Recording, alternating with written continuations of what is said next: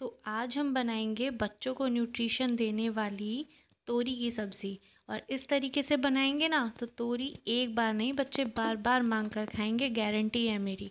सबसे पहले गैस के फ्लेम को ऑन करके रखिए कुकर उसमें डालिए दो चम्मच ऑयल फिर जीरा, और उसके साथ लहसुन डालकर पका लीजिए। फिर उसमें डालिए एक कटा हुआ प्याज, और उसको अच्छे से ब्राउन कर लीजिए। फिर उसमें डालिए एक कद्दूकस किया हुआ टमाटर, और उसको अच्छे से पका लीजिए। फिर उसमें सारे मसाले डाल दीजिए। नमक, मिर्च, धनिया पाउडर, हल्दी पाउडर, गरम मसाला। पकने के बाद उसमें तोरी को बारीक बारीक काट कर इस तरीके से डाल दीजिए और अच्छी तरीके से उसको मिला लीजिए। मिलाने के बाद उसमें चार बड़े चम्मच पानी डाल दीजिए, क्योंकि तोरी में अपना इतना मॉइस्चर होता है, हमें ज़्यादा पानी डालने की इसमें ज़रूरत नहीं पड़ती और दो विसल आने तक वेट कर लीजिए।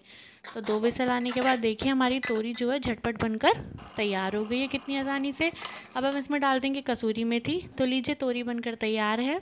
वीडियो अच्छा लगा हो तो मेरे चैनल को सब्सक्राइब कीजिए।